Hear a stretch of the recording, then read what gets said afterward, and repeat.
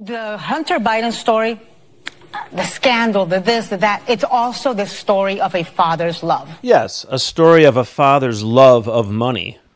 And Joe Biden has never and will never give up on his son, son Hunter, and will never treat him lesser than. Unless you count putting your crack addicted son in the middle of a corruption scheme.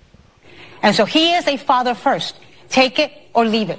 Oh, right, right, right, right, right, right, right. The Hunter Biden story, the scandal, the this, the that, it's also the story of a father's love.